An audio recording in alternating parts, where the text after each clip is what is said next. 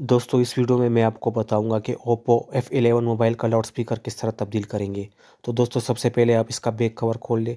Back cover खोलने का तरीका आपको इस वीडियो के डिस्क्रिप्शन में लिंक मिल जाएगा तो उस पर क्लिक करके ये वीडियो देख ले। उसके बाद इसके पेज खोल ले और इसका सिम ट्रे निकाल दे। उसके बाद इसका ये बैक बॉडी जो है, ये खोल दे। तो दोस्तों, सबसे पहले आपने इसकी बैटरी को डिस्कनेक्ट कर देना है। उसके बाद नीचे हिस्से के जितने भी पेज है, सारे पेज खोल ले। एक भी पेज बाकी नहीं रहना चाहिए। सबसे पहले आपने इसकी ये चार्जिंग जेक जो है, इसके ऊपर दो पेज लगे होते हैं उसको खोल ले। अगर हो सके तो उसकी बैटरी को डिस्कनेक्ट करके निकाल दे। तो आपके लिए आसानी हो जाएगी।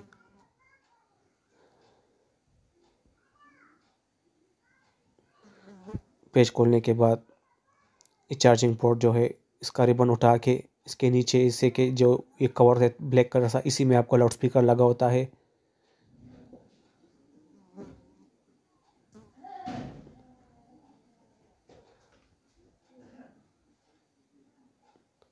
तो ये कवर निकाल दे तो दोस्तों, आपको पूरा ये कवर चेंज करना पड़ेगा क्योंकि इसमें ये ड्रम सा होता है।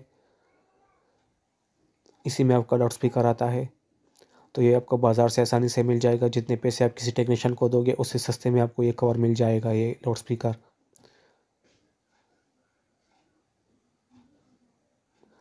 अगर इसकी आवाज़ स्लो हो तो इसको साफ़ कर दे ब्रश से। अगर सफ़ाई से ना हो तो फिर उसमें नया लाउड स्पीकर लगा ले। अगर ये सिर्फ़ लाउड स्पीकर मिलता है, जो इसके अंदर लगा होता है तो ठीक है, वरना ये पूरा तब्दील कर दे।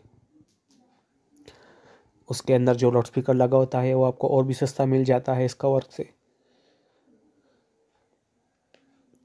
तो ये नया लगाने के बाद इस पर ये चार्जिंग पोर्ट वाला रिबन लगा ले।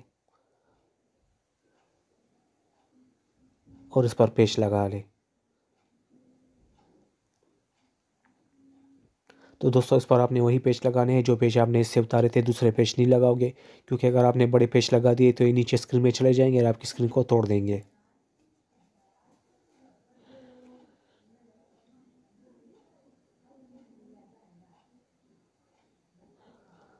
अब इसका जेक लगा ले